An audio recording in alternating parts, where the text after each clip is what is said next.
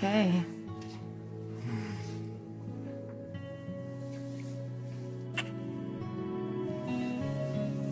Why did you shower?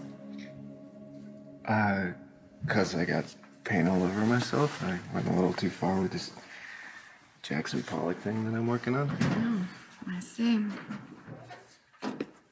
Oh, I was um just checking on you to see if you remembered about your little chat with Cameron. Uh, you know, I haven't forgotten about that. I um, I just haven't had time.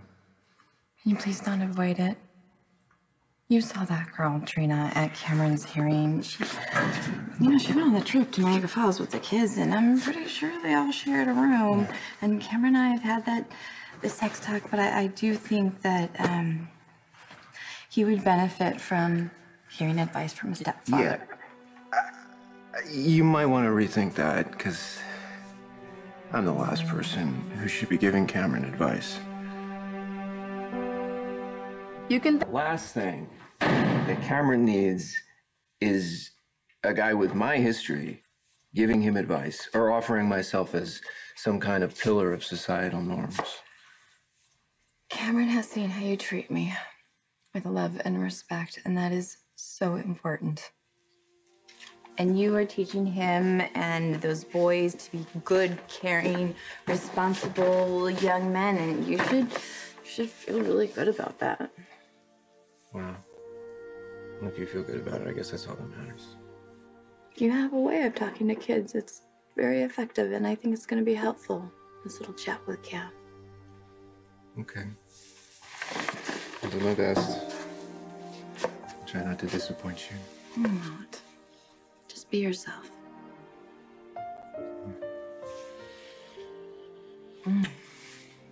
See you later. Okay.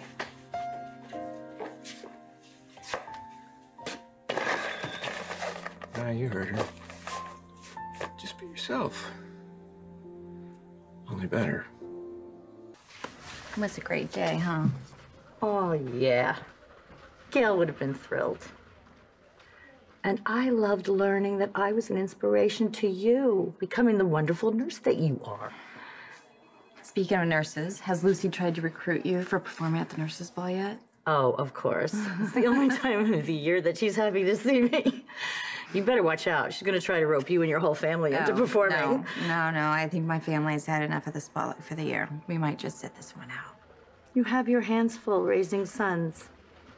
Never gets old, and it never gets easy. You did such a good job raising Lucas. If you have any wisdom you'd like to share, I'd like to hear it. If you're t- Is there anything that you wish you had done differently? Ugh, only about a million things.